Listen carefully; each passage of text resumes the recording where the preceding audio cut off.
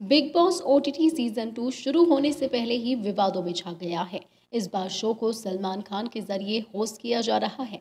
इस शो के अंदर 24 घंटे के भीतर ही पहला एलिमिनेशन देखने को मिल गया। चौथा social media star comedian Puneet Kumar का। उन्हें लॉर्ड पुनित सुपरस्टार के नाम से भी जाना जाता है। इस एविक्शन के बाद उनके कई स्टेटमेंट सामने आए, जिसमें वो अपनी बात रखते हुए नज़र आ रहे हैं। लेकिन इसी बीच उनके इंटरव्यू का एक शॉकिंग वीडियो सामने आया है, जिसमें वो इस शो के होस्ट यानी कि सलमान खान की लव लाइफ पर कमेंट करते हुए दिखाई दे रहे हैं।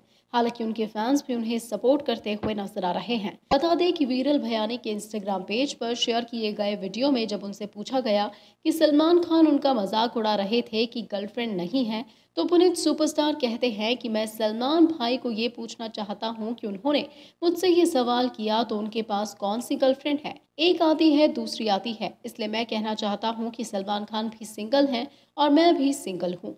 इतना ही नहीं, इसके आगे पुनित ने शो के प्रीमियर पर सलमान खान से अपनी पहली मुलाकात के बारे में भी बात की और कहा कि सलमान उन्हें देखकर नर्वस हो गए थे। उन्होंने कहा, सलमान खान भी मुझे स्टेज पर देखकर नर्वस हो गए थे।